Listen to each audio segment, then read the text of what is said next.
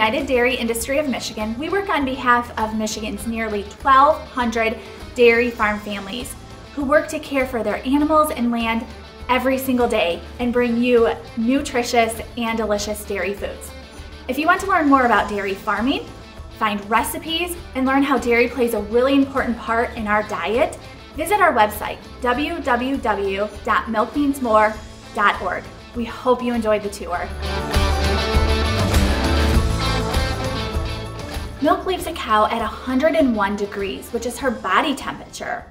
On this tour, we will learn where milk goes after it is collected from the cows, how it is cooled and stored for the milkman to pick up. We will also meet a milk hauler who is a very important member of the farm team. We will start in the milk house with dairy farmer Aubrey of Walnut Dale Dairy in Western Michigan. Okay, so as we head into our milk house, we're gonna talk about what we do with the milk. Once it comes in from our parlor, through this pipe that we see coming in here, it goes into these filters and that makes sure that the milk is clean. So the filters that we use look like this and it catches any fine particles, sand, or other things that our towels do not get off the cow's udder. We wanna make sure that the milk is clean.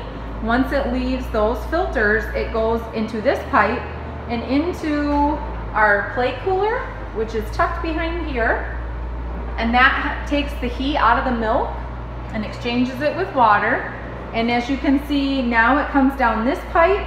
Um, there's condensation on that pipe because at this point now the milk was 101 um, when it comes out of the cow and at this point now the milk is 32 degrees. It continues to run down this pipe and then over into this big tank that we call our bulk tank. This can hold 80,000 pounds of milk and so it sits in there and then we pump it from that tank out to the trucks um, that come to haul the milk.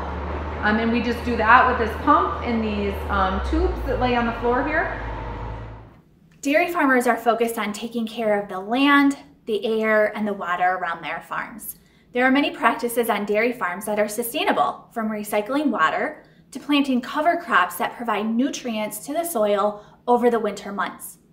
Aubrey mentioned a plate cooler that helps lower the temperature of the milk. This is another way that dairy farmers are sustainable. Let's listen as dairy farmer Brad of Ritter Farms in central Michigan explains how the plate cooler works. The milk will go through this, uh, we call it a plate cooler. And every one, every other plate of, of this is milk and every, and the other plates are cold well water the milk will come in one side, it'll come out the other side, and we use cold well water to pre-cool the milk, which is very energy efficient because uh, we just take 50 degree well water. It's like it acts like a radiator, and we uh, we will cool that milk. So we take 100 degree milk with 50 degree water, and we end up with 75 degree milk going into the tank, which allows us to use less energy to cool our milk. And then the outgoing water is at 75 degrees, and that gets pumped out and the cows drink it. So it's a very efficient use of energy to cool our milk. After the milk is collected from the from the cows, it is cooled down. Um, it comes out of the cows at 101 degrees, and we need to cool it down to under 40 degrees in order for the milk truck driver to come and pick it up. And that person is another important member of our farm team. My name is Wayne Patterson. Um, I am a milk hauler bulk milk hauler. Uh, we haul milk from the dairy farms to the processing plant, and where it's processed and bottled and, and used as uh, you know in stores and whatever. I got to be a milk hauler by my father-in-law. My father-in-law hauled milk for 50 years, and cans and, and such. And I was fortunate enough to, to come along and, and marry his daughter, and um, he's just I just like doing it. I like the farms and, and the farmers and just the peacefulness of it, and just um, you know being able to to do something that, that is a product that is, is, is very very cleanly, very sanitary um, to the utmost. That's one of our biggest things is keeping the milk, you know, keeping clean. We never touch the milk um, at any time that goes into our tank. most of the farms tested for antibiotics, and and then when we get to the processing plant, it's always tested before it's uh, it's pumped off the truck. This trailer was built by Birch Tank in Mount Pleasant. It's a locally built tank. Um, they do a, an amazing job. And this trailer holds, it's a 13,000 gallon trailer. It'll hold, you know, they build them a little bigger, a little smaller. Uh, it'll hold 114,000 pounds of milk. When this truck's loaded, it's going to weigh in excess of 164,000 pounds. And the biggest reason for us buying a trailer like this is because to make less trips, less miles, less wear and tear on your truck. There's there's such a need for, for drivers out there, and not only in, in hauling milk, but hauling everything. It's not a job where you need to go out and get an education. Um, you do need your high school education, GED per se, um, but uh, there's a need for truck drivers. There's a huge need for truck drivers, for good truck drivers.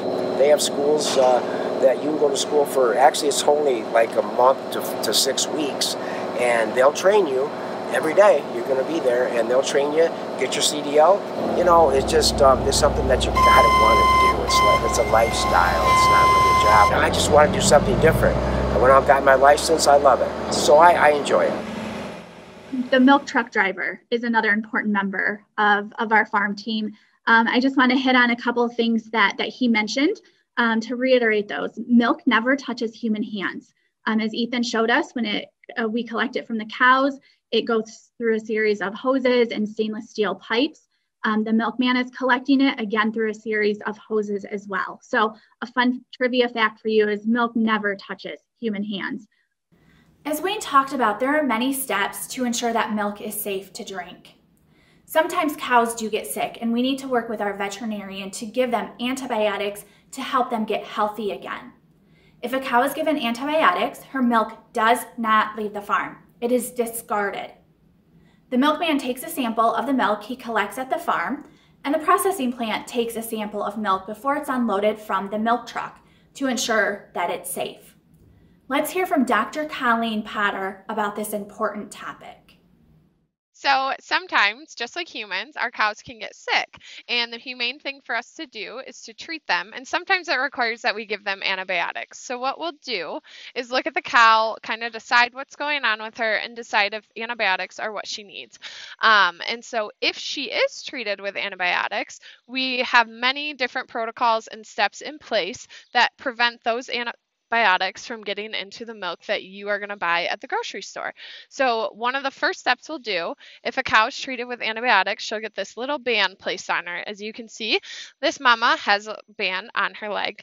And so, that is a sign for the milkers in the milking parlor to say, don't put this milk in the tank. She needs to be milked separately, and her milk will be thrown out. Another important step is that every single cow that gets antibiotics will get written down. We'll write down exactly exactly who she is, what she got, and that way we know that her milk is going to get thrown away for a certain amount of days. Um, and all of those steps are in place to keep your food healthy or safe and healthy for you. No matter what the label at the store says, all milk is antibiotic free. If you have questions about dairy farming that we didn't answer today in this video, we have more farm tours and a frequently asked questions document on our website. Thank you for joining us for the tour.